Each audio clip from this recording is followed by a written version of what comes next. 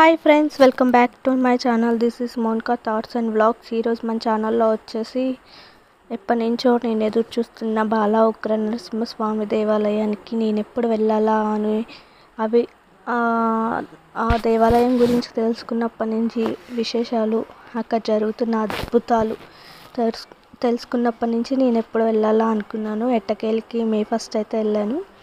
ఇక్కడ చూడండి మనం గుడిలోకి ఎంటర్ అయ్యే ముందు మనకి ఆపోజిట్లో పెద్ద చెరువు ఉంది. దానికి ఆపోజిట్లోనే దూళ్ళగుట్ట. దూళ్ళగుట్టలో అండి బాల ఉగ్ర నరసింహస్వామి నూతనంగా వెలిశాడు. ఇక్కడ మీకు కనిపిస్తుంది వచ్చేసి గుడి చైర్మన్ గారు. వారైతే మేము వెళ్ళిన సమయానికి బయటకు వెళ్ళడం వల్ల వారి నుంచి అనుభవాలు తెలుసుకోవాలనుకున్నాను. అది తెలుసుకోలేకపోయాను. ఇంకా మేము వెళ్ళిన రోజు మే ఫస్ట్ కావడం వల్ల చాలా అంటే చాలామంది జనం ఉన్నారు. భక్తులు అయితే ఉన్నారు. రద్దీగానే ఉంది. ఇప్పుడు మీ ఇంతకుముందు మీరు చూసిన మాతలకి ఉగ్రం వచ్చిందండి. అందరూ వాక్ అయితే చెప్తున్నారు. ఇప్పుడు మీరు చూస్తుంది వచ్చేసి బాలా ఉగ్ర నరసింహస్వామి దేవాలయం.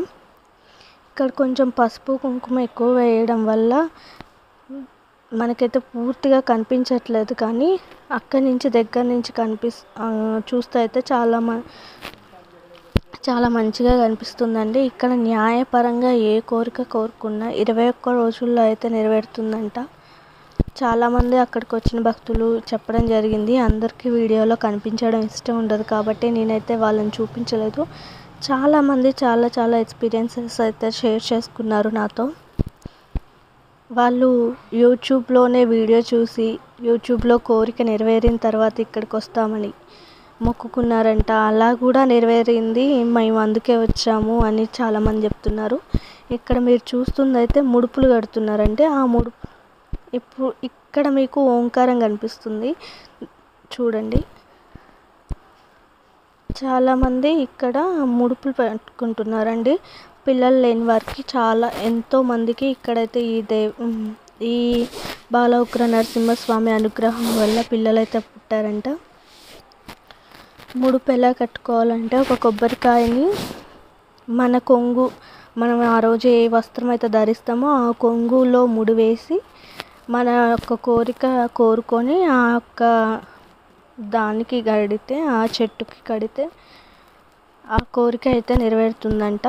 ఇంకా కొంతమంది చెప్పింది ఏంటంటే వాకు చెప్పేవాళ్ళు దగ్గర మూడు పండ్లు తీసుకొని ఆ మూడు పండ్లు దంపతులు ఇద్దరు తిన్న తర్వాత సంతానం అయితే కలుగుతుందని కొంతమంది కూడా చెప్పారు. ఇప్పుడు మీరు చూస్తున్నదే అండి.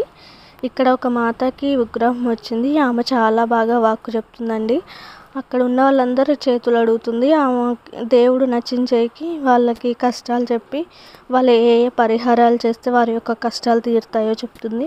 ఇక్కడ ప్రతి శుక్రవారం ప్ర ప్రతిరోజు నిత్య అన్నదానం జరుగుతుందండి. దేవుడు శుక్రవారం కనిపించడం వల్ల ప్రతి శుక్రవారం అయితే ప్రత్యేక పూజలు అయితే జరుగుతున్నాయి. ఇంకా చాలా వీడియోల్లో మీరు చూసే ఉంటారు. చాలామందికి బెస్ట్ ఎక్స్పీరియన్సెస్ అయితే వచ్చాయండి.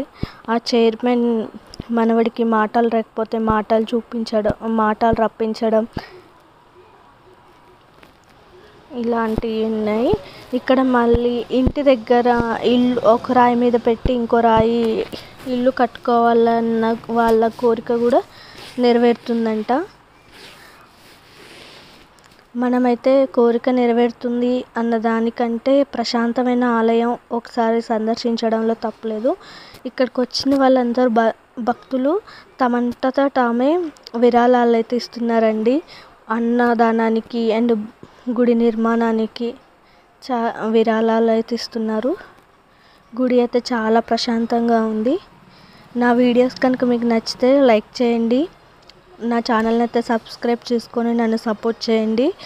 అంతే మీరు కూడా యూట్యూబ్లోనే కోరిక కోరుకొని మీ కోరిక నెరవేరితే ఖచ్చితంగా ఉగ్ర నరసింహస్వామిని అయితే దర్శించుకోండి. బాయ్ బాయ్ మరొక మంచి వీడియోతో మళ్ళీ మీ ముందుకు వస్తాను